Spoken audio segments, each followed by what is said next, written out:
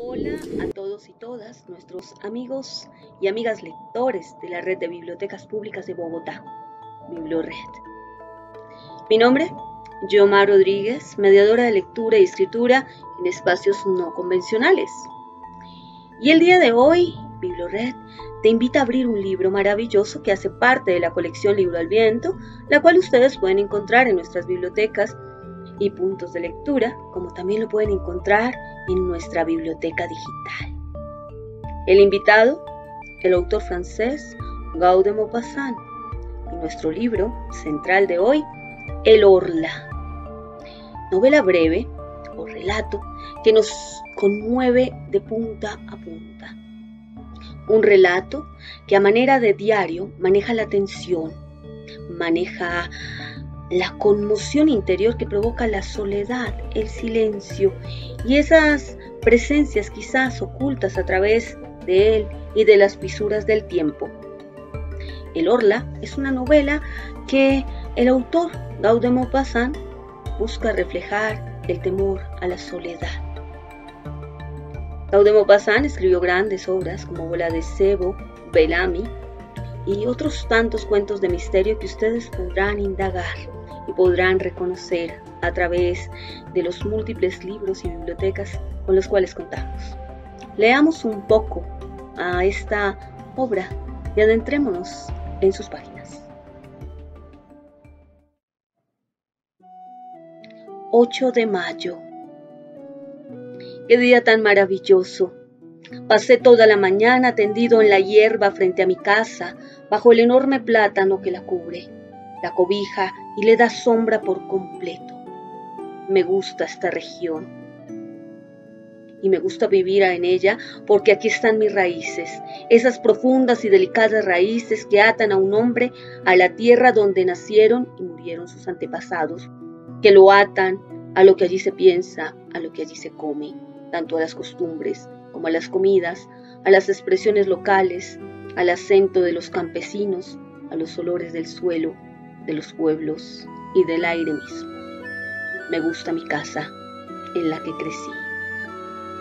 Y así empieza nuestro camino un poco sinuoso a través de esta novela maravillosa que es El Orla, donde el autor nos va a ir creando toda una atmósfera. En esa atmósfera nosotros vamos a encontrar desde la alegría, la desazón y el miedo. Veamos otra parte. 12 de mayo. Tengo un poco de fiebre. Desde hace algunos días me siento indispuesto, o mejor dicho, me siento triste. ¿De dónde vienen esas influencias misteriosas que convierten en desánimo nuestra felicidad y nuestra confianza en angustia? Y se diría que el aire, el aire invisible, está lleno de desconocidas fuerzas de las que padecemos su cercanía misteriosa. Me despierto lleno de alegría, con ganas de cantar en la garganta. ¿Por qué? Bajo a la orilla del río y de pronto, después de un corto paseo, vuelvo desconsolado, como si alguna desgracia me esperara en mi casa. ¿Por qué? Es un escalofrío que rozando mi piel estremeció mis nervios y ensombreció mi alma. Es la forma de las nubes o el color del día, el color de las cosas tan variable que a pasar por mis ojos enturbió mi pensamiento ¿Quién sabe?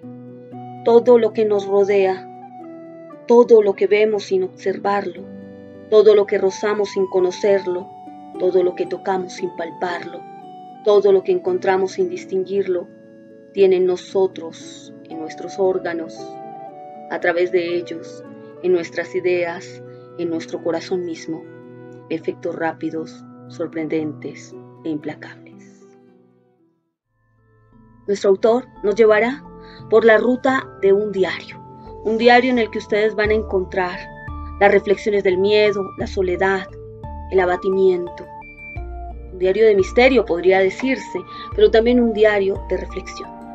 Nuestra invitación a seguirlo leyendo, a seguirlo consultando en nuestra hora del cuento, van a seguir encontrando historias. Audemo Bazán falleció eh, en un hospital psiquiátrico, una vida increíble, maravillosa, tocada por la locura.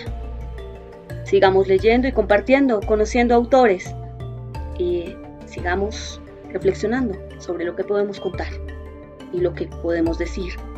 La fragilidad del hombre no necesariamente son los miedos, simplemente es la reflexión misma de estar vivo.